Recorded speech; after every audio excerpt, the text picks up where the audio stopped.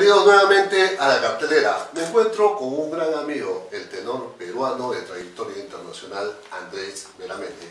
Andrés, un placer, un gusto tenerte aquí en el programa. ¿Cómo has estado, maestro? Muy bien, muy bien, aquí haciendo muchas cosas, con nuevos proyectos y muchas, muchas cosas por realizar. Claro que sí, claro que sí.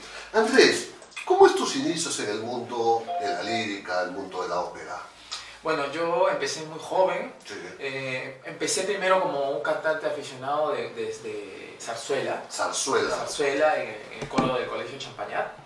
Y había un, había un grupo de zarzuela que se llamaba el, Señorío de la Zarzuela. El Señorío, de la Zarzuela, que, lo, que lo, dirigía la señora que en paz descanse Moyo Arevalo. Correcto. Y entonces, eh, y en, esa, en ese entonces estaba el director del, de director del de la compañía, el maestro Augusto del Prado, que fue un barítono de una trayectoria de los años 50. Claro que sí. Y entonces este, yo era muy, muy chico, porque estaba todavía en el colegio, entonces cuando estaba en el coro, y entonces el, que era el director del coro, vio que, tenía, que yo tenía muy buen talento, que tenía buena voz y me recomendó que estudie eh, canto lírico y que para que más o menos me empape vea, lo, vea un poco, un poco la, a la gente profesional, digamos, que vaya al grupo de los mayores, de los padres de familia, porque el, el, grupo lírico maristas el señorito era el grupo de la zarzuela de los padres de familia, ¿no? Entonces yo, yo bueno, fui como adoptado a ese grupo, ¿no? Sí. Entonces era el, más pequeño del grupo, ¿no? Porque, eh, y, era muy curioso porque había otros chicos que también entraron, pero lo que pasa es que, claro, eh, lo que pasaba siempre con los chicos que veían, otras cosas y, se apartaban. Sin embargo, a mí me, yo me quedé, me, me, me, atrapó esta música por una razón de un poco de recuerdo afectivo, porque en mi casa, cuando yo era, yo era un niño, este, mis abuelos eran muy aficionados a, la lírica, a la zarzuela, a la ópera. la sangre. Claro, al tango. Inclusive mi mamá era, inclusive mi mamá cantaba este, zarzuela en este grupo de aficionados. entonces, bueno, entonces yo, yo llegué a ese grupo. O sea, disculpa, ¿tuviste varias mamás entonces? Eh, bueno, claro, sí, sí, sí, y entonces este, y entonces este, bueno, la cosa que yo al estar en este grupo escuchaba a la gente mayor que cantaba y yo, y yo los imitaba, ¿no? Trataba de imitar, entonces como también tenía que aprender muchas, este, muchas cosas de zarzuela porque me dieron rápido, me dieron solitos pequeños, así de, de zarzuela. De zarzuela. Solitos pequeños. En esa época estaba el maestro Antonio Massini, que era el que, lo repetía. Estaba también, este, había muchos cantantes de esa época. Estaba Alfredo Mato, que también acaba, falleció en principio de años, que era un excelente tenor, que cuando él me escuchó, eh, Alfredo y, este, y, este, y el maestro Massini, y bueno, y, también a, mi mamá le decían, no, este chico va a llegar lejos y todo. Claro, yo un chico escuchaba, pero no, no le daba mucha importancia, ¿no? Y entonces, eh, inclusive también el, el, director del coro, este, eh, que era el señor este, Luis Santolaya, que, que también le decía a mi mamá que este chico va a llegar lejos y no sé cuánto. Entonces, yo estudiaba, yo estudiaba canto con él, pero, pero claro, yo no lo tomaba tan en serio, era una cosa de aficionado, porque yo paralelamente hacía otra cosa. Yo iba a el colegio, estaba en la academia, entré en la academia y luego estaba, eh, me iba a preparar, estaba preparándome para entrar a la católica, porque iba a, ser, iba a estudiar Derecho y como mi familia todos son de tradición de abogados, dije, bueno, voy a ser este, abogado. Ahora pensando con el tiempo, de repente, yo le digo siempre, porque es, muy bien curioso que en, mi vida estoy rodeado de muchos abogados, todos mis amigos son abogados, o sea, es, muy interesante y a veces cuando yo hablo con, con justo con gente de la católica digo, y pensar que yo nos podemos haber conocido y ahorita estaría de repente de abogado y soy cantante libre, pero ahora tú eres más feliz, me dice, ¿no? Bueno, y la cosa que, y eso, y entonces pasó, pasó el tiempo, pasó el tiempo, este, para la, para la preparación de la católica, la academia, ta, y paralelamente a esto, eh, me, quien me escucha es este Miguel Molinari. Ah, Miguel, Miguel Molinari me escucha, sí, yo, yo tenía alrededor de ya más, había pasado unos, un, par de años, porque también canté, canté también en el grupo de, de, Dorita Alegre, que tenía también un grupo de zarzuela. O sea, fue, fueron, fueron un espacio de tres años que yo cantaba y hice conocido en el ambiente de, de la zarzuela aficionada.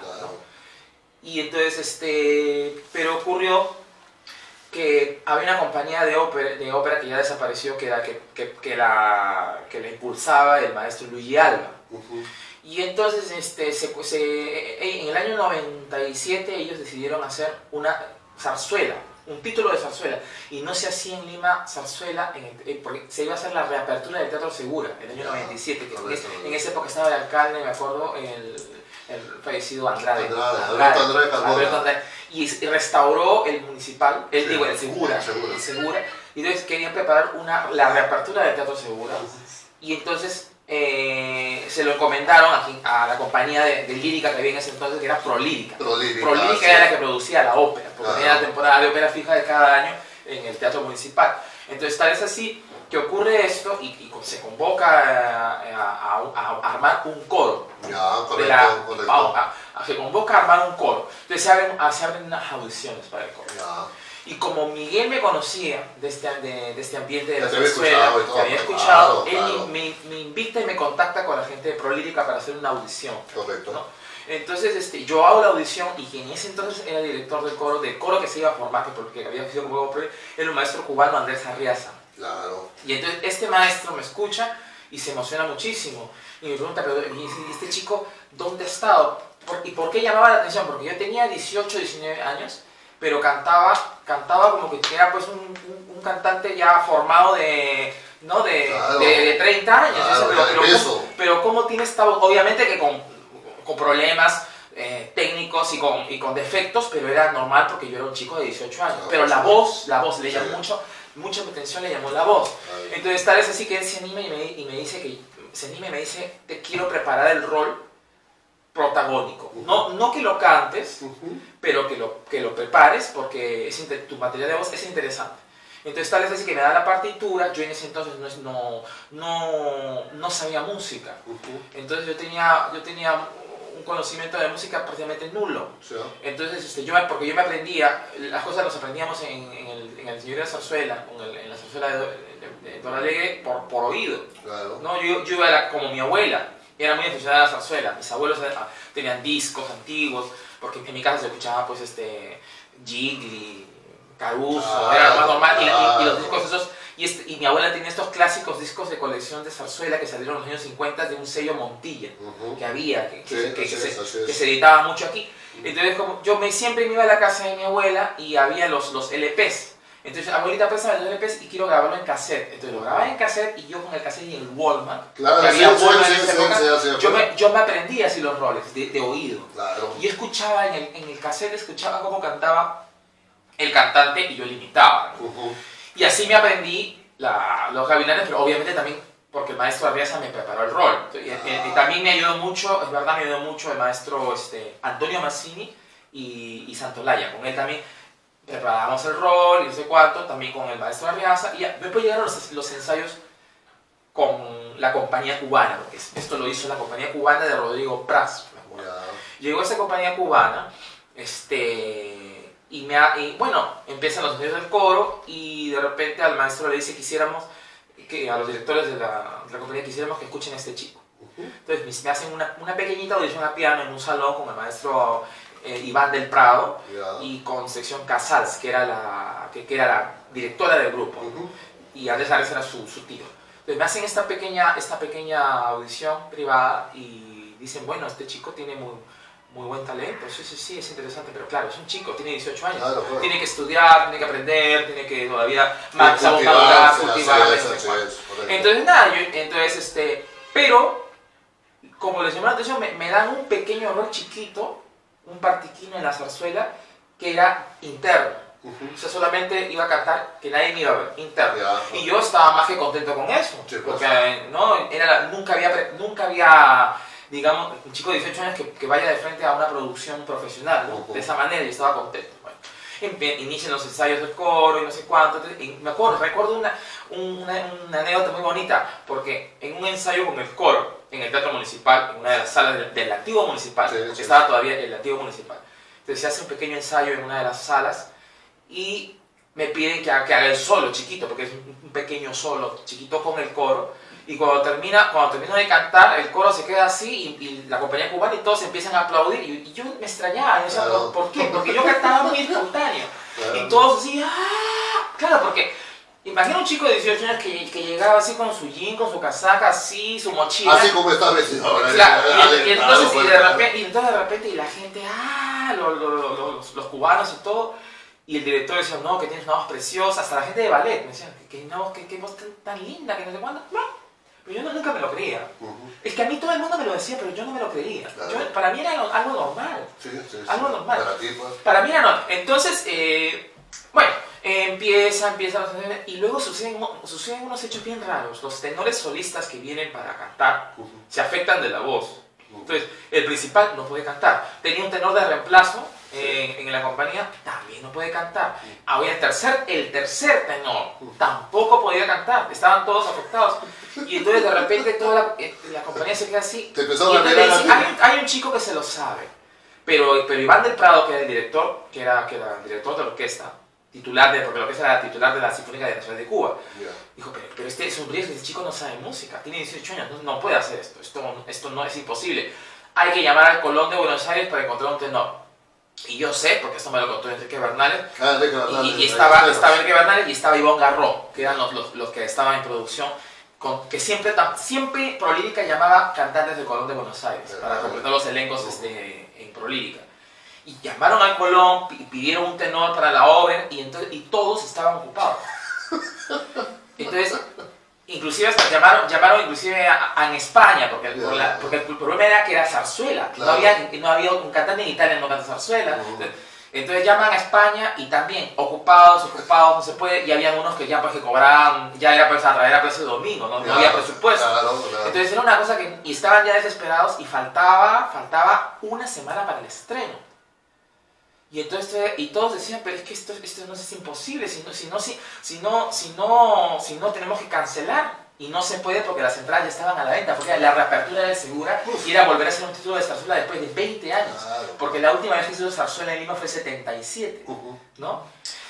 Y entonces es- todos estaban en esa situación y la cosa que de repente fue una cosa muy rara. Yo llego al ensayo del coro y entonces y empiezo a ensayar y me dice Concepción Casals, me dice, este, Andrés, eh, ¿tú te sabes el rol? Bueno, sí, más o menos, lo he visto cómo, cómo, cómo cantan ellos. Este, mira, no, no, eh, Mayito no puede cantar porque está en el médico. Es José está afectado de la voz y Judy no puede cantar tampoco. Ensáyalo tú, es un ensayo. Ok. Y entonces, la primera escena de, de, de Nolan en estas horas es también interna. Ujú. Hizo el interno. Y primer acto. Entonces venía ya la segundo, el segundo acto que ya el tenor sale y canta la romanza y, canta los- y hace los diálogos. Y yo veía una sensación bien rara. Venían los, los principales, se me acercaban. ¿Estás bien? Y yo decía, sí. ¿Te sabes el rol? Era un poco como, como una película. ¿Te, sa- te sabes el rol? Y yo dije, bueno, creo- y yo respondía, creo que sí. Creo que sí. Este, pero ¿te lo has aprendido? Bueno, sí, sí, creo que sí me lo sé. Y, pero así, ¿no? Entonces llega, llega el momento que tengo que cantar la romanza, el solo. Ujú. Y yo salgo, ¿sí? y ensayo y canto, taca, taca, taca, taca, taca. Y la gente de lo que se empieza cha, cha, cha, con, los, con los arcos, ¿no? Y yo veo en el, en el, en el escenario, del, o sea, en, en la parte de butaquería del Teatro Segura, Claro, sí, sí. movimientos raros, gente que subía, bajaban, iban, hablaban. Yo "Qué raro". ¿Qué pasa? Claro, porque estoy hablando del no- y el 97 pues, no, habían, habían, los, habían los celulares grandotes. Ujú. Y Sí, sí, yo sí. veía Los yo- ladrillos. yo veía que entre Bernales y Ivonne Garro salían, salían afuera, volvían, salían, estaban así, ta, ta, y movimientos raros le hablaban acá, y, mientras yo cantaba.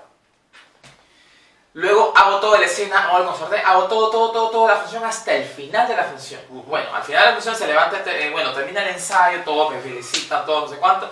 Y Concesión Casas viene y me, busca. Me dice, ¿estás contento? Sí. Le dije, y, lo primero que me dice, ¿te quisieras, ¿te quisieras ir a Cuba? Y yo le dije, bueno, me encantaría. Bueno, te tengo que dar una noticia. ¿Cuál? Y yo pensaba, no me van a llevar a Cuba. Y me dice, y yo le dije, ¿qué? ¿cuál es la noticia? Me dice, eh, vas a cantar el estreno de la obra y te también vas a cantar las funciones. Y yo me quedé, ¿qué? Y no podía creerlo. No podía creérmelo. Entonces, luego de eso, claro, vino el siguiente proceso que era ya los ensayos en serio. Claro. Entonces, la prueba de vestuario, y yo no me podía creer lo que estaba viviendo. no podía creía, creer lo que no estaba viviendo, y parecía un sueño. Y inclusive, yo te- tuve, que, tuve que dejar de dejar, porque tenía la fecha del examen en la católica, y no me presenté por ensayar. No era para ti, pues. Es que fue una cosa increíble, porque yo tenía, eh, como estaba en el código, iba a pedir permiso ese día para hacer el examen, y luego y me dijo, por pero no pude hacer nada de eso. O sea, me cambió todo. Me quedé, hice los ensayos, ta, ta, ta, ta, ta, y llegó el día, de la el, el día del estreno. Cuando llegué al estreno, muy nervioso, y todo, no sé qué. Y dice, tranquilo. Me dice, vas a ver lo que va a pasar cuando cantas el área. Y yo decía, pero no sé qué va a pasar. ¿qué va a pasar? La cosa que yo canto el área de una manera muy eh, entusiasta, ta, ta, ta, que, que lástima que no existe un video, porque existe, existe un VH de las funciones después. Ya, Y, el- y todo el mundo se lamenta no haber po- podido grabar. Claro. Lo que pasa es que en esa época no era fácil grabar, en esa época Sí, sí, grabar sí. había que contratar a un... Sí, a- así ¿no? es, pues. o, la televisión, entonces no, era, no, era- no había las facilidades de hoy. Pero sí existe un audio en un cassette que por ahí lo debo tener, Ya. mi mamá lo debe tener. Y entonces yo termino el área y la gente empieza un, un escándalo en el teatro y ¡va! Y uno grita, este, Kraus del Perú. Y el otro dice, ¡qué fabuloso! ¡qué fantástico! Y empiezan a decir cosas desde arriba. ¿Ya te la creías? ¿O todavía no? mi sensación fue que de repente yo me quedé así y, y, y volteé al público y no podía creer lo que estaba pasando. Y la gente peor, se puso peor. Aplaudió más, aplaudió más, aplaudió más. Bueno, esa función fue súper exitosa. Claro, pues. Y todo el mundo se me vino encima, todo el mundo estaban emocionadísimos, que qué gran voz, que no sé cuánto, que ese chico, ¿de dónde salió este chico? No sé qué, no sé cuánto. Yo me quedé así, todo el mundo. Y, ese- y ese día me acuerdo que no pude ni dormir, recordando todo lo que había vivido. Claro, pues. Porque tengo un chico de 18 años que viva eso, Sí. un éxito. Es, es, es- Pero inclusive hasta me disculpe, quedé, hasta, perdón, Sí, sí, inclusive y- y lo más impactante fue cuando me dijeron tienes que, dar, tienes que darnos no, tu- tus datos para que recibas el pago. ¿Qué? ¿Me van a pagar por esto? Una cosa así, ¿no? Yo, no, es que era Estaba, claro. Claro, totalmente ingenuo, porque yo cantaba el grupo de zarzuela eh, y no, no cobrábamos, ¿no? Y entonces después de esta cosa, eh, lo más impactante fue que existía en ese entonces, que también que paz descanse, un crítico de, un crítico de lírica que se llamaba Alejandro Llori Y escribía para, para, para la sede del comercio, que eran crónicas. Y Alejandro Llori pone una crítica y de repente en la, en la crítica coloca este buen debut del tenor, del joven tenor Andrés Veramendi, que con tan solo 18 años de edad tiene la, tiene la, vo- la voz eh, de un te- de verdadero tenor lírico espinto que a todas las autoridades y no sé cuánto deberían apoyar. Es, un de- es una revelación del año. No sé cuánto. O sea, me, me llamaron como revelación del año. Claro. ¿no? Claro. Y la claro. cosa que... Y, todo- Claro. y todos esos hechos Claro. que sucedieron, apareció de repente mucha gente que me apoyó. Yo como abogado hubiera sido un fracaso. Quizá. Tú sabes, No mira, te sé. lo digo. Mi mamá es buena abogada. ¿ah? Yo soy amigo de grandes, de grandes abogados Claro. y de grandes estudios también. Claro o sea que de repente, no sé. Así, mira, acá en el programa estuvo un amigo también, Fernando Valcárcel, de Ah, Orquesta Sinfónica claro, Nacional. claro, el director. Entonces, él dice así, yo hubiera querido, yo quería ser futbolista. Entonces yo le digo, mira, como futbolista hubiera sido una desgracia, pero eres un gran jugador con la batuta en la dirección de la orquesta. Porque eso Claro, es verdad, claro, claro, es verdad. Cuando no es, no es. cuando no, no es para, por ejemplo, a mí me dio un gusto verte en el Gran Teatro Nacional de Turandot. Ah, sí. ¿Qué decía la gente? Tenor, tenor. Sí. Honestamente me emocionaba. ¿Por qué? Porque, Nacho, te tengo mucho aprecio y mucho cariño. Muchas gracias. Entonces decía, caramba, sí, pues, sí. Sí, pues. sí, sí. Pero después de eso, ya tu trayectoria por el mundo, ya, ahí se te abrieron las puertas. Sí, la bueno, después, de- mundial, de- ¿no? después estuve, estuve un par de años en el conservatorio, eh, estudiando con el maestro Andrés Santamaría, que me ayudó muchísimo. Andrés Santamaría, claro, muy, sí. muy bueno. También, también este, tomé lecciones con, con la maestra María Luisa Aguirre, un, Claro, un año. Claro. Y luego eh, estuve un, tuve un periodo de, de, de, de idas y idas a Bogotá, Colombia, y me preparé con el maestro Manuel Contreras. Y luego de esto es cuando ya hago, como se dice, crucé el charco y me voy a Europa. Y me instalé en Madrid y empecé a estudiar con la maestra Ángela Chamorro, Sí. luego eh, con el maestro Pedro la Virgen Ujú. y terminé estudiando con la maestra Isabel Pelados. Ok. Claro, todo este periodo fueron más o menos un espacio de siete años. Siete, Siete años, siete Claro, años. ok, sí. Luego de esto, eh, yo hacía cosas acá, con Ujú. prolírica. Ujú, Me daban algunos roles de zarzuela, puntuales, pero no cantaba nada afuera. No cantaba nada afuera. Y entonces esto, como te digo, en ese espacio de 7, de siete, 8 años era que yo venía acá, cantaba cosas de zarzuela, regresaba, seguía estudiando, cantaba, pero afuera no cantaba nada. Y de repente ya el año 2009, hace, hace, este, hace exactamente 10 años, Sí. o sea, lo- mi vida es muy graciosa porque cada, cada, cada 10 me pasan cosas. Y ahora pasó 10 y miedo me da. Pasó algo también. Hoteles Cali pasó también, no, no sé, claro no que sé. sí, claro que Pasó sí. también algo muy, muy, muy interesante. Eh, se convocan unas audiciones que son audiciones importantes, porque en el Teatro Municipal de Santiago de Chile, Correcto. que hoy por hoy es el teatro más importante de, la, de Latinoamérica en, el circuito operático, y en el mundo también, es un teatro estable. Y entonces ese teatro convoca a, a, audiciones generales para cantantes líricos solistas. Y a mí me llega, un amigo chileno me manda en la esquela y me dice, ¿por qué no te presentas a las audiciones del...? Porque yo había hecho acá una gala Puccini con romanza, porque ya existía romanza, y una ópera que ah, del 2009, que me parece que fue la ópera Tosca. Tosca. Tosca, que alterné con Francesco Petrozzi. Ah, con Francesco Petrozzi. Gran, gran amigo mío. Claro, sí, sí, sí. Y entonces, este, y mi amigo chileno me dice, ¿por qué no te presentas a, las audiciones del, del, del Municipal de Santiago de Chile? Y yo le digo, pero, pero ¿cómo yo voy a ir a Chile a hacer la audición? De repente me votan, ¿no? O sea, no, dije, ¿no? Este, no, preséntate, que, que porque tu voz es buena, porque él escuchaba los, yo escuchaba los videos que había visto. Claro, sí. Pero tú, tu voz es buena, tú tienes talento, ya es momento de que tú puedas hacer un salto. Porque está bien que cantes en tu país, pero haz algo internacional. Claro, falta. Y yo estaba así con la duda, cuando me presento o no, me presento o no, me presento. Ok, me presento. No sé qué pasa. Y entonces, este, no sé, fui. Y fui sin, sin pensar nada, o sea, muy así, ya. Porque, porque antes, porque es verdad, antes había hecho unas audiciones también fuera y fueron pésimos. Mal, por alguna, por alguna razón, por alguna razón, no, no me cogían. Inclusive, inclusive tuve, tuve una audición, no voy a decir eh, el lugar, pero fue un lugar muy importante, no lo voy a decir, que este caballero, que como es la vida de Irónica, que ya esa compañía ya no existe, y era en ese momento, era una compañía importante, que estaba en el extranjero, y no voy a decir el país. Y entonces, este, pero es un país importante. Y me dice, este, mire, Benamendi, usted la verdad que no está preparado para, para debutar, para cantar, este, ¿no? en un escenario importante como este. O sea, me dijo un montón de cosas que me desanimó y yo salí llorando. Te bajó, pero... Yo me acuerdo que de esa audición, porque, porque, a, porque a la tarde tenía el avión de regreso a Lima. Yo salí, porque yo fui con toda la ilusión y salí llorando. ¿no? Y porque el hombre me desilusionó a mi el piso, me dijo que no, que yo tenía que todavía seguir estudiando más, que no sé cuánto, que, ojalá que, que, que, no, bueno, no vale la pena. Y entonces fui a Chile un poco así ya. Es verdad que, ah, recuerdo que quien me animó y me apoyó muchísimo en hacer esta audición fue el maestro Enrique Ricci. Y Enrique Ricci me preparó para la audición, porque eran audiciones para la ópera La Traviata. La Traviata, y, él, me, preparó la, ah, la ópera. Me preparó la ópera, pasamos todo el rol y, y yo me, y bueno, me fui preparado a hacer la audición. Entonces yo voy al teatro, entonces llego al escenario, no, a la audición del escenario. Estaba en la lista y no sé cuánto, y de repente me voy a, a uno de los camerinos a, a vocalizar. Estoy vocalizada y después salgo del, del, camerino, salgo del camerino y de repente se me acerca un señor, pues, ¿no? Que luego, luego ya, eh, con el tiempo que se hizo muy amigo mío, Rodrigo Navarrete, que fue yeah. de, de, la Turandot que se hizo aquí en Lima, chileno, que vino a cantar mucho aquí en la época de Luigi Alba, que estaba allí de, de jefe interno de, de los este, regidores. Pero en ese momento yo no sabía quién era. Claro, claro. Y me escucha en la, en la sala de ensayo y, me dice, y se me acerca y me dice, ¿Tú de, y, ¿tú de qué país eres? De Perú. Ah, yo he ido a tu país mucho, yo he cantado, yo, yo solo he ido a Navarrete, ah, encantado, yo no sé de quién era. Y me dicen, qué bonita voz. Ah, gracias. Y nada más. Y, y entonces me llaman, ¿no? Porque ahí la, a los, lo, en el teatro es muy estricto. Sí, sí, sí. Me sí. llaman, a, me llaman a, a escenario.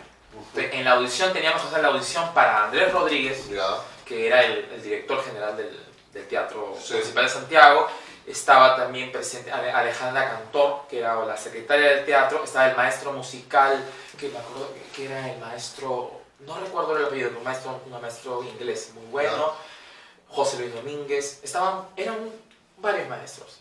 Y después en el teatro no había nada, solo ellos allí. Y me acompañó la maestra Luchi González. Ah, Luchi González. Sí, porque ya, Luchi González, ya, ya, es que fue muy raro, coincidía que todo estaba allí. estaba allí. Yo me encontré con Luchi en el teatro porque Luchi fue a tocar para otros cantantes peruanos y de repente me encontré y Luchi. Y, y, y, Luchi me dice, ya, yo te acompaño, pues. Porque me iba a acompañar el, el, pianista del teatro y yo le dije, ya, pues acompáñame tú, le dije. Claro. Y entonces, este, dígame. Entonces, en el escenario me presento, buenas tardes, este, mi nombre es Andrés Vidamendi, eh, y me grita, me dice Andrés Rodríguez, ¿no? ¿Y qué va a interpretar? Y le voy a hacer este Luce da Ley del, de la Traviata, Luce da Ley del compositor Giuseppe Verdi. Por favor, empiece. Pero por- y me dice, pero por favor, dos compases antes, porque no quería la introducción. Y yo me dije, bueno. Entonces Luce era tan, tan, tan, tan, plan, y yo, y yo hago Luce Ley preparado por el maestro Ricci, ta, ta, ta, ya, ya cantaba bien, ¿no? La, la, la línea fraseaba, ta, ta miraba el escenario del teatro que es precioso, porque ¿sabes? el Municipal de Santiago de Chile es una copia muy parecida a Garnier, Ok. de París, entonces un teatro muy afrancesado, entonces yo miraba las pinturas, los dorados, no sé cuánto, no sé qué, me canté, ta, pa, pa, y luché acompañado. Termino la, el área y me dice el maestro Andrés Rodríguez, ¿se sabe la cabaleta? Y yo me quedo así en el aire. Y yo la cabaleta la había cantado hace muchos años en un concierto con la Sinfónica Nacional que me dirigió el maestro que en paz descanse Leopoldo de la Rosa. Ah, ok. Y que esto está registrado en un disco que, que, que yo saqué en mis inicios aquí en. Perú. Y que y yo había hecho la, la cabaleta en Ya. ese entonces, que fue la única vez que yo había cantado. Ujú. Y yo con- y rápidamente le digo, eh, sí la, la sé, pero me, me tendría que, si me da por favor cinco minutos para, para releer un poco una frase de la letra, la canto. Y me dice Andrés Rodríguez, por favor, ok. Entonces cojo la partitura de, de Luchi, me voy, ¡pum! y me encierro en el camerino y le digo, Luchi, rápido. Entonces ensayo. Y en esos cinco minutos cantaba otro cantante. Y en la cabaleta, esto es así, y, la, y la, la letra la tenía así más o menos, pero las notas, ta, ta, ta, ya, pum, vamos. Va. Salgo de nuevo, dice, ok, este maestro es la cabaleta, ok. Y canto la cabaleta, o mi inta- infamia, taca, taca, tan, taca, tan, tan, tan, tan, tan, tan, tan, tan, tan, la entera, pum, pum, pum, y termino la cabaleta. Y de repente, y, ta- y vuelvo a ver ese movimiento raro en el. Hablaba. Ya había celulares, hablaba con el celular, salía, se separaban, se iban arriba, se... rarísimo. ¿Qué pasa? ¿Qué está pasando? Algo raro está pasando acá. Y entonces de repente este, me dice, ¿tiene otra cosa? Otra prueba más. Y yo había llevado un libro de, que tenía un libro de, que es un libro clásico de los estudiantes de canto, tenor, que tiene varias, las varias este, selección de áreas de ópera, ¿no? De, los- de, lo- digamos, de los, de los hits de los tenores. Y digo, bueno, tengo este Non piangere Liu, que había hecho una Puccini en Lima. Tengo Non piangere Liu, cántala. Lucha. Canto Non piangere Liu, y termino Non piangere Liu. Y me dice, tiene otra cosa, y ya era una cosa que yo ya estaba ya, ya está. Quería tengo, más, bueno, le puedo hacer, y había hecho Tosca, eh, tengo Recontra Armonía y- o el Chevan Stelle, ¿qué, qué, qué desea? Y me dice, mira así, cante Recontra Armonía. Canto Recontra Armonía, ta, ta, y termino. Y de repente me dice, ¿puede hacer la frase de, de, de Tosca de, de Luciano Stelle, pero solamente la tal frase? Ok, Luci vuelve a tocar, y hago solo esa pequeña frase de... de eh, ho amato mai tanto la vita, tanto la pum. Y, y no me dicen nada. Y dice que Mudos. hablan, apu- yo veo que apuntan. y entonces, este, muchas gracias. Chao. Nada más. Cojo mi partitura, Lucho me acompaña y voy hacia, la- hacia, hacia, hacia, hacia un poco la salida del escenario y estaba ya así cansado porque era cantar, Claro. era un concierto. Salgo y de repente había un viejito que también en paz descanse, que era un viejito apuntador del teatro, el maestro uruguayo que no, ahora no, recuerdo. Y me dice, y me dice, muy bien, me dice, joven, excelente, muy bien, muy bien, mucha suerte en tu carrera, te va muy bien. Ah, gracias maestro. Y de repente veo que Ale- Alejandra Cantor, la secretaria del, teatro, me da el encontrón en la, en la salida, de, en la boca de la salida del escenario. Y me dice, Andrés me dice, este, ¿tú eres peruano? Sí. ¿Y pero dónde vives? Bueno, yo vivo en España, pero también voy a Perú. Ah, ya. Y me dice así, bueno, ya, nos- ya estaremos en contacto. Ok, muchas gracias. Nada, no, no, porque no, no me dijeron nada. Y bueno, Sí. y me fui, y luego tuve una reunión con amigos, y ya hice mi vida normal. O sea, y no pasó nada, pasó la audición, ta, ta, ta, ta, ta, ta, ta. Y yo regresé a Lima, y no sé qué, porque esto fue más o menos noviembre, diciembre, me quedé porque era Navidad, ¿no? Y estaba así. Y de Navidad, y de repente, este, yo ya me olvidé, no, me había olvidado, No te pues, ya, eso no, ya está. Y una tarde abro el, Correo.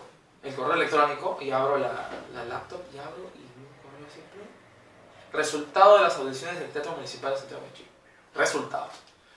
Entonces, queridos artistas, inicialmente, queridos artistas, queremos agradecer por las audiciones que han tenido. Todos han estado muy, en un altísimo nivel, pero tienen que saber que han sido seleccionados solamente algunas personas. Y aquí en un archivo, en un archivo de Excel mandamos la relación de gente que ha sido seleccionada para cada ópera los roles. Y yo dije, bueno, yo dije, me habrán dado, pues, yo dije, me habrán dado el Gastón, que es el personaje secundario del, o el Giuseppe, ¿no? Fantástico. ¿sabes?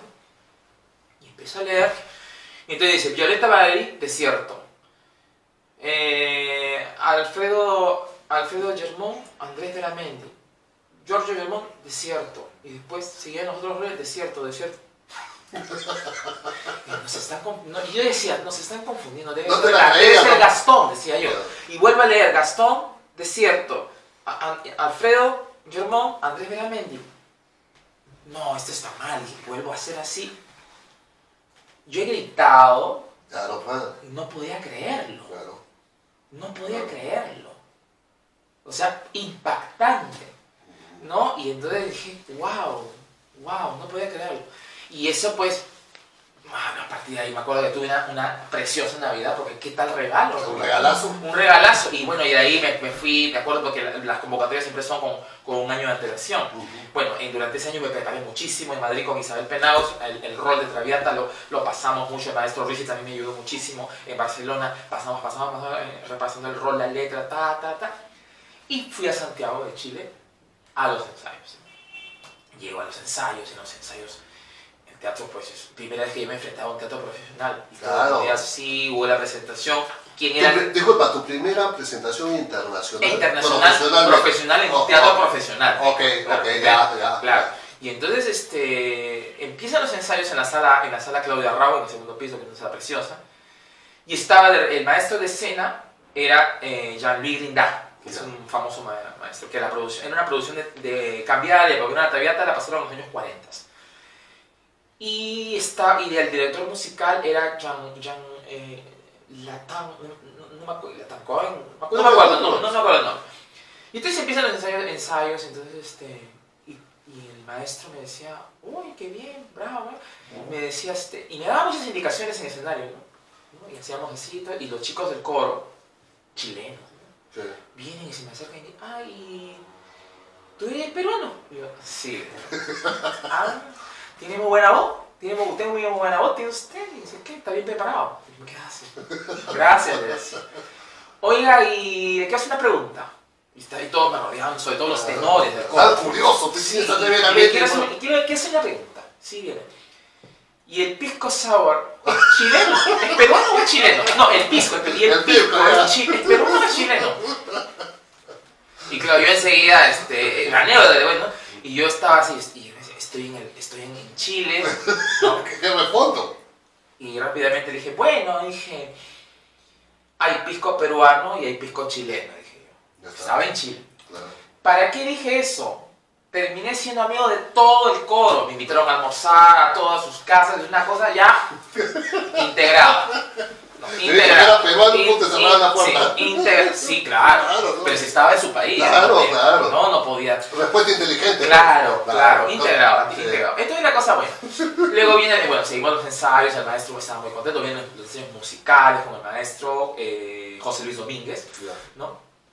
Que estaba muy, muy contento porque él, tenía referencias mías ya de aquí de Perú, Correcto. ¿no?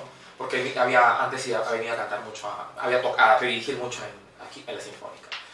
Y estaba muy contento, y no sé qué, no sé cuánto, bueno, y empieza el, el estreno, el estreno de la, de la Traviata Teatro lleno. teatro lleno con elenco, con, elenco, con la gente ahí. ¿no? en el teatro. Yo decía, wow. ¿no? Bueno, muy nerviosa también. Y claro, eh, es una experiencia también distinta porque tú sabes que la, que la, que la ópera es un género un poco más, este, es, a distinto de la zarzuela que es más, más, digamos, cercano, la Así ópera es. se ve más, ¿no? El público es un poco más, Ya selecto. más selecto. Eh, sí, aplaudía, muy bien, bravo, ¿no? y estaba así, ta, ta, ta. y al final, y los saludos finales, y eso me acuerdo que también estaba, había ido de público eh, Emilio Montero, porque había ido para hacer un, un trabajo de intercambio, no recuerdo, y fue, y él estuvo, fue testigo, y sí había, hay una grabación que la colgó en Facebook, Ok. del, del, del estreno del estreno. Y cuando salgo los, los saludos finales, el teatro pues empiezan a aplaudirme, ¡ah! Sé, tenor. igual.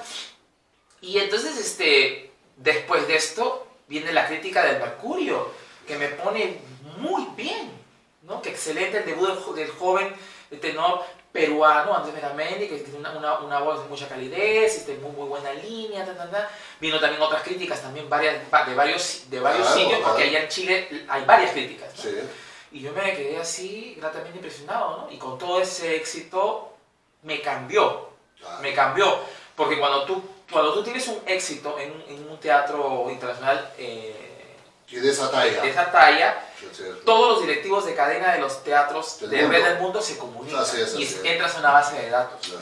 Luego los agentes también se, se interesan por ti. Y, va- y fue ese detalle que empezó, ya empezó, digamos, mi carrera internacional. al mundo. Exacto. Me, cogió, me cogieron los agentes, empecé a y canté también en Madrid, en el, Teatro Real de Madrid, en el Teatro de la Zarzuela, en La Maestranza, en, en, en el Abao de Bilbao, que canté en, en- París, en Alemania, Sí, pues. en muchos sitios. Sí, en muchos. una trayectoria. Y también en Perú. Ya, pero ya, ya viniendo a Perú a cantar ya con, con, una- con, con glorias, como Claro, ya, ya viene con Sí. tus triunfos Sí, y, sí, y- y- y bien ganados. y Así bien es. ganados. Y bueno, y eso es más o menos, ¿no? Tu Mi trayectoria. trayectoria. Andrés, acá en Lima, eh, tengo entendido que vas, te vas fuera del Perú. ¿Te vas a vivir fuera del Perú? Eh, estoy en algunos planes, todavía Ya, no lo he decidido. correcto, pero pero- todavía no, no, no, digamos, no, no, no, no, ahora, no mañana, pero Ok. Sí, tengo Ok, pensado. Tienes tu escuela de canto acá, clases particulares. Sí, ¿Puedes informar al Por público? supuesto, estoy, en- estoy dando, impartiendo clases de canto a cantantes líricos, también cantantes populares, o, sea, cualquier tipo de género. Cualquier tipo de género puede hacer salsa, balada, bolero, que es, porque es importante. Claro, es sí, importante sí, porque sí. No, no, no, un cantante tiene que estudiar Tiene que tener un- lo que se llama un coach vocal. Ah. Entonces yo también estoy ahora de coach vocal. ¿no? Eh, cualquier cantante que cante cualquier tipo de género que se quiera presentar a un reality o quiera ser imitador, lo que sea, Ujú. yo puedo ayudarlos. Claro. estoy, estoy, estoy trabajando gracias a la ayuda de Julie Freund, que, me- que me, Sí, ha- acá, o sea, me ha salido, em- hemos entrado en un convenio y estamos en la academia en acordes Ujú, De acuerdo. en acordes y entonces este eh, hay unas clases clases este particulares Ujú. privadas o clases grupales Correcto. ¿no? entonces quien quiera participar de estas clases puede llamar al, al teléfono que te, que te he dado después puede aparecer en cinta Claro que sí, yo ahorita sí, con sí, el sí. teléfono no lo recuerdo O en tu página web te voy a... eh, o en Facebook. la página de Facebook también Facebook, pueden encontrar los datos. Andrés Veramendi Tenor y ahí pueden encontrar Claro, los datos de la academia acordes donde está donde encontramos y el teléfono para que se contacten con la Correcto. academia y le den los datos si quieren este no Claro sí. también doy clases privadas Ujú. en mi casa no Correcto. y digamos si, si es que quieren una relación un poquito más cercana Correcto. Eh, también me pueden contactar en la página profesional de Facebook Andrés Veramendi Tenor Tenor. y, y- y me- con todo gusto puedo les contestaré Claro o sí. si no, también a mi teléfono, les voy a mi teléfono, Claro. chicos que quieran eh, estudiar canto, mi teléfono es 9979-27543, ¿no? ¿Puedes repetir? 9979-27543, ¿no? Es, eh, me escriben al WhatsApp, ¿no? Me agregan, siempre, eh, me- y bueno, yo encantado los puedo dar información de las clases, ayudar y, y bueno, sí, aprovechenme porque yo me quedo poco tiempo, ¿no? Por lo menos hasta, hasta que me quede, ¿no? Hasta, no sé si hasta fin de año, mitad del próximo año, no, O hasta que suene el teléfono. O O me llegas un correo. Oye, vete a Alemania. bueno, Nadie sabe, nadie sabe, nadie sabe, nadie eso- sabe, eso- eso nadie sabe. o de repente voy y vengo también, porque Claro también, sí. también porque la, tú sabes que la vida de ahora Sí. es totalmente distinta que antes. Así es. Andresito, te presentas con la Orquesta Sinfónica Nacional, el Coro Nacional, en el Sí, Gran Teatro En Nacional. el Gran Teatro Nacional, gracias a la invitación de la Orquesta Sinfónica Nacional, tengo el honor de, de haber sido invitado, convocado por el maestro Valcárcel. Fernando Valcárcel. Estoy muy agradecido realmente que, ha, Sí. que ha creído en mí para que asuma el rol de Canio en la ópera Pagliacci de Cavallo, que esto, esto pertenece a uno de los homen- ya es, es ya- de las celebraciones del Bicentenario. Sí, así es. Y entonces este concierto se cumplen 100 años del nacimiento de Leoncavallo, Ruggiero de. Ruggiero Leoncavallo. Y se hace la, la ópera Pagliacci en concierto. Esta ópera Pagliacci, lo cual a mí me viene muy bien porque estoy debutando el rol. O sea, para Claro. debutarla es fantástico, ¿no? En- Claro. En, en concierto, Sí. antes de hacerla en escena. ¿no? Claro. Porque yo he cantado caballería rusticana, Sí. pero ca- el caño de Pagliacci no. No. Entonces, este. Y bueno, porque ya han pasado los años y yo ya con, con, con la edad que yo tengo, ya puedo, digamos, asumir el rol y aparte que también la voz evoluciona, cambia, entonces tengo ya en una edad que ya puedo iniciar ese tipo de repertorio. Claro que sí, claro que sí. Y entonces este, esto es como bajo el marco de la Orquesta Sinfónica Nacional, ¿Del en Coro el, en el- Nacional? en el- del Coro Nacional, del Así. Coro Nacional de Niños. No, gracias también a, tengo que agradecer también a Javier Zúnico, que me ha apoyado muchísimo. a Mónica A Canales. Mónica también, a Mónica y a Javier, estoy muy, muy, muy agradecido de ellos. Y, y nada, y esto es en el Gran Teatro Gran Nacional. Teatro Vale, Nacional. Entonces, vuelvo a cantar en el Gran Teatro Nacional. La última ópera que yo canté en el Gran Teatro Nacional fue justamente Turandot. Donde la gente. Sí. Tenor, Sí. tenor. Sí, yo estuve ahí, pues. Eh, ah, mira, claro que eh, sí, claro que Que sí. tuvo mucho éxito. Claro que sí. Y bueno, digamos que en este caso es ópera en concierto, ¿no? Entonces, al ser ópera en concierto no es, no es ópera en escena, pero es interesante siempre ver una ópera en concierto porque, digamos que cuando uno ve la ópera en producción, Sí, eh, claro, tienes la, la gran producción, la ópera se impone por todo el espectáculo, Claro, que es el canto, el baile, las luces, ¿no? Pero cuando es en concierto es una, es una óptica obviamente diferente, distinta, pero también interesante, porque ten en cuenta que Longaballo es un compositor muy... eh, eh, de hecho, Pagliacci, junto Sí. a Caballero Rusticana, que se meten muchas las óperas juntas, que son de Maestro Mascagni, sí. son las dos hermanas, eh, como las dos óperas hermanas, pero la, la, la, la, digamos los íconos, por así llamarlos, principales del, del género del verismo italiano en la ópera, Ujú, ¿no? Porque son óperas realistas. Así es. Y la música también, la música es son música impresionista. Y, y, la, y sobre todo Pagliacci, yo, yo recuerdo que leí un libro que Leoncavallo admiraba muchísimo a Wagner, Richard a Wagner. Richard Wagner. Mm. Y, este, Sí, sí, sí. Y, él, y él habla y dice que cuando él compone Pagliacci, porque, ¿por qué hace Pagliacci? Pa- Y Pagliacci hace, es decir, así Pagliacci porque es un hecho real que sucedió en Calabria, es, es una historia, es una historia, una historia, es una historia real. Real.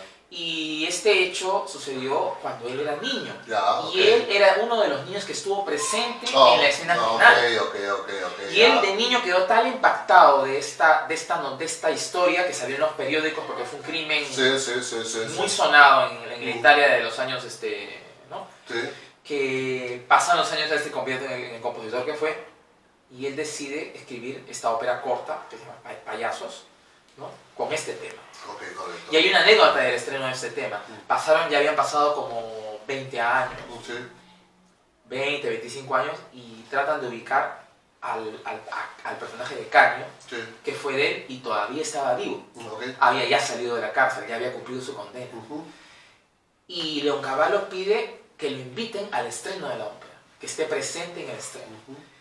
Y bueno, cuentan, eh, los cronistas cuentan que dice que este, este, este hombre, o sea, dice que estuvo en el, en el estreno y que dice que se, que se quebró y se emocionó y no podía creerlo. Claro, claro, claro. Que lo que a él le había pasado, ¿no? ¿Cómo, cómo pudo ese hecho haber, haber el, el un niño haber visto esto, se quedó tan impactado y luego hizo una ópera tan bella, Claro. ¿No? Con una de las, de las áreas de, de tenor más hermosas que existen, que es eh, el, el, el Bessie la Yupa. Ujú. O sea, se quedó, o sea, y el hombre, bueno, no podía creerlo, ¿no? Y entonces encima que lo, que inclusive lo can- esa ópera la cantó, pues era, era la ópera favorita de Caruso. Que los de primeros, Caruso. los primeros di- discos de carbón que salían en, en los años 20 fueron grabados por Caruso, ¿no? Y Caruso hizo famoso en grabación esta ópera, ¿no? Entonces, increíble, ¿no? Increíble, son anécdotas, ¿no? Y bueno, ese es Y Pagliacci, que es una música muy, muy, muy este, impresión- Claro. es impresionista, perista, y las líneas, de, las líneas del canto, la parte es preciosa, la- las, las áreas de, de- las escenas de neta, de la soprano, está el prólogo, que lo canta el barítono, o sea, y es una ópera muy, muy, muy fuerte. Entonces, interesante escuchar pa- que- payasos en concierto, porque justamente aquí el protagónico va a ser la música y el canto. Claro que sí. Es interesante. ¿Humberto Zabalaga también va a estar con ustedes? Sí, sí, sí, sí, él va, él, él va a estar asumiendo el rol de, me parece, de Tonio. Ok. Va a ser Tonio. Ok. Él va a ser Tonio y, que, y la, sopra, la necta va a ser la soprano venezolana Dorian, de, Lefebvre. Lefebvre. Sí, estuvo Excelente, excelente, excelente soprano que Claro yo, que sí. yo la admiro muchísimo y siempre canto con ella en su plaza. La última vez que yo canté con ella ha sido el año pasado Bohem, La buena. en el municipal. Así Sí, es, muy es. buena, muy buena. Claro que sí, mi apreciado Andrés Veramendi, voy a estar en tu concierto. Tú sabes que yo no me pierdo tu presentación. Sí, es verdad. Claro que sí. Para terminar la entrevista, ¿te veré algún día en la escala de Milán? Bueno, yo- Tomando así como a- en, la- en la escalera, en la escalera de repente. En la escalera, pero, pero, pero en No sé, pero bueno, en la escalera de Milán, no sé. Bueno, Carlos, muchas gracias por todo. Sabe que te tengo un cariño muy especial. Gracias, A gracias, ti, gracias y por... voy- voy tú a- sabes que es recíproco. Así es. Por eso estoy aquí. Claro que sí. Voy a estar en el Gran Teatro Nacional. Ah, me olvidaba de decir, por favor, que no traje el físico, que por favor, que está, a la está también a la venta mi disco. De Radio Filarmónica. Mi Radio en vivo, con, grabas- con selecciones de grabaciones de, toda mi parte de mi trayectoria en audio, que están remasterizados, son grabaciones del vivo. Sí. Que lo puede, quien quiera adquirirlo lo puede conseguir en el mezanine de Radio Filarmonía, Ok. en el local del Ministerio de Cultura. Sí, sí. Eh, quien también quiere, si quieren una inversión más amplia, la pueden encontrar en la, en la página web de Radio Filarmonía o también en el espacio de, de Facebook. Ok. Y está el enlace, ¿no? Y eh, quien quiera tener un físico del, del CD, lo puede- pero lo puedes mostrar de repente en una foto que yo te he mandado. el- Ya, ¿no? ok, Te ok, sale en pantalla el físico, pero Sí, lo puedo sí, ubicar. sí, y sí. agradezco también a bueno, la señora Marta Mifflin, que es la quien está apoyando esta, esta iniciativa de Querete Arte, también está, está apoyando esta, esta iniciativa de- del disco. Y gracias. ¿no? Siempre las puertas abiertas. este Muchas gracias programa para- muchas gracias, muchas gracias. Ok, Bueno, muy gracias. Adiós. Volvemos luego en unos segundos. Muy gentiles.